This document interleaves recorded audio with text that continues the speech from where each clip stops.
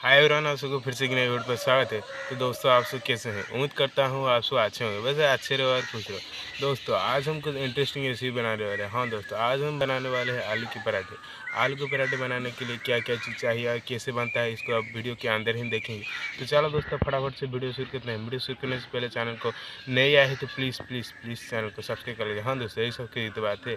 Subscribe करके साथ में बेल आइकन को प्रेस कर लीजिए। फटाफट से मैं भी देना करके वीडियो शुरू करता हूँ। फटाफट से। आलू के पराठे बनाने के लिए मैं यहाँ पर एक बाउल लिया है। सबसे पहले हमको डो बनाना है। डो बनाने के लिए मैंने यहाँ पर अच्छी क्वालिटी का आटा लिया है। धारा आटा वाइट आटा, इसे आसानी से मार्केट से मिल जाता है। इसे हमारा जो पराठा नहीं फटेगा साइड से, इसलिए मैंने इसका यूज़ किया है। इसके अंदर पानी डालेंगे। साल्ट डालेंगे और इसको अच्छे से मिला के सॉफ्ट डो बनाएँगे।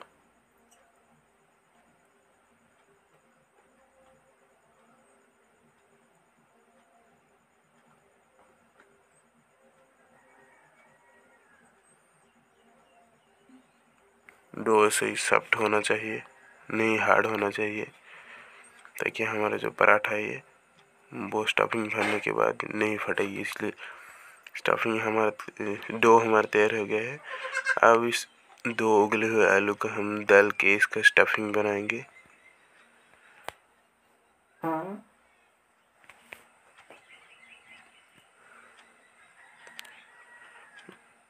इसके अंदर थोड़ा साल्ट डाल के स्वाद के अनुसार इसको मिक्स कर लेंगे।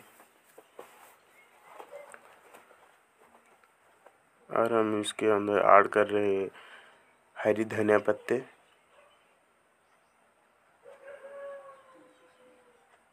प्याज। और मैंने यहाँ पर एक हरी मिर्ची लिया हूँ। इन सबको अच्छे से मिला के हमारा जो स्टफिंग वो तैयार कर लेंगे। ये देखो स्टफिंग हमारा अच्छे से तैयार हो गया है। इसके ऊपर थोड़ा हम मिर्ची पाउडर डाल के इसको मिक्स कर लेंगे ताकि इसका कलर और ये इसका टेस्ट जो हो, और भी अच्छा लगेगा। ये हमारा स्टफिंग बन गया है। अब हम इस डो को बना के स्टफिंग सबको भर देंगे इसके अंदर। ऐसे ही बना के ये ज़्यादातर लोगों को नहीं आता है। ये देखो। ऐसे ही स्टफिंग को भर के स्टफ़ को भर के बाएँ हाथ से यानी लेफ़्ट हैंड से इसके घुमाएँगे और राइट हैंड से इसको दबाते दबाते हुए चलेंगे। ऐसे ही करते करते हम ऊपर तक आएँगे। इसके बाद इसका जो ऊपर का है इसको, इसका ऊपर का हिस्सा हम निकाल देंगे।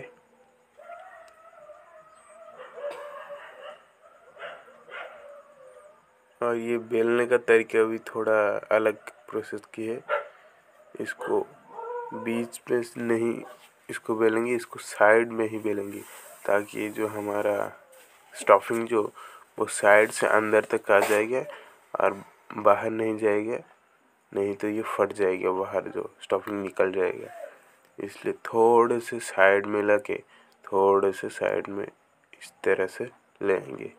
ऐसे ही करते करते जब ये थोड़ा बड़ा हो जाएगा, इसके बाद हम बीच में ही बेलेंगे।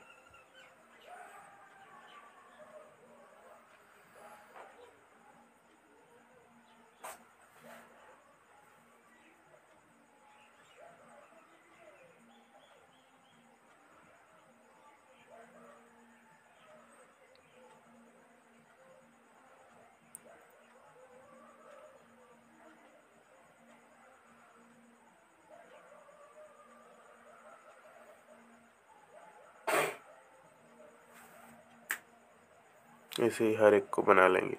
एक पैन में हम इस रोटी को पकाएँगे। डेढ़ से दो मिनट तक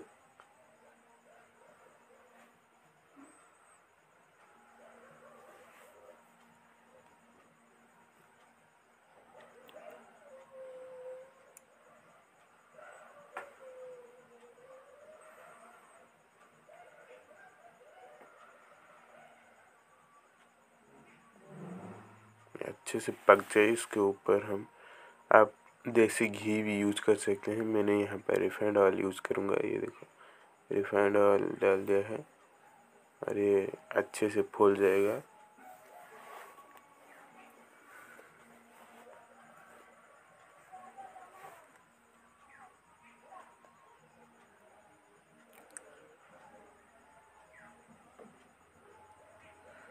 ये देखो कितना अच्छे से फूल रहा है।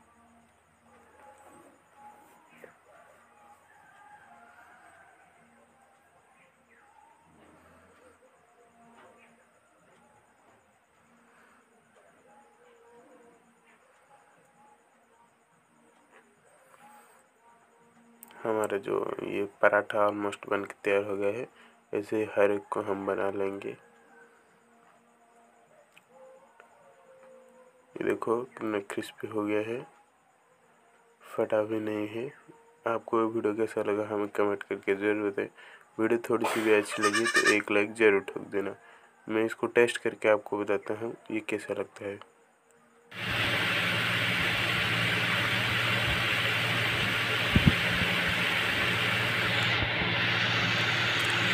बहुत ही अच्छा है बहुत ही बढ़िया है।